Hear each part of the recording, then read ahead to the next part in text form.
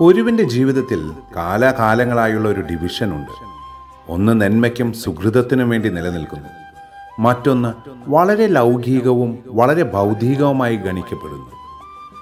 ഭൂമി മുഴുവൻ ദേവാലയമാകാൻ പോകുകയാണ്. കൃത്യമായൊരു ദിശാബോധം കിട്ടിയ ആൾക്ക് കൃത്യമായി ഗുരുവിൽ ആഴപ്പെട്ടൊരു സാധകനെ എല്ലാം ദേവാലയമാണ്.